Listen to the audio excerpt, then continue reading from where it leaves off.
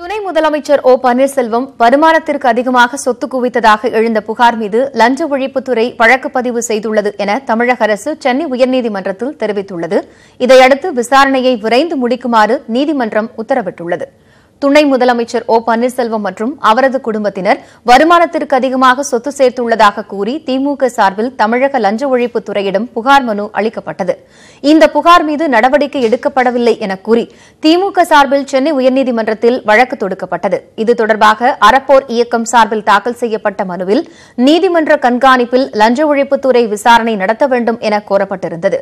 கடந்த முறை இந்த வழக்கு விசாரணையின் போது ஓபிஎஸ் மற்றும் சேகர் ரெட்டி இடையேயான தொடர்பு குறித்து குறித்து சிபிஐ விசாரணைக்கு ஏன் உத்தரவிடக்கூடாது என நீதிமன்றம் கேள்வி எழுப்பியிருந்தது.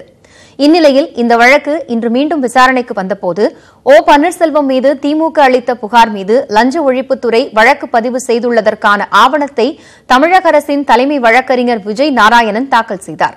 இதையடுத்து வழக்கை விரைந்து விசாரிப்பதற்கு உத்தரவிட்ட நீதிபதி விசாரணை நியாயமாக இல்லாவிட்டால் மனுதாரர்கள் மீண்டும் நீதிமன்றத்தை அணுகலாம் என கூறி வழக்கை முடித்து வைத்தாா்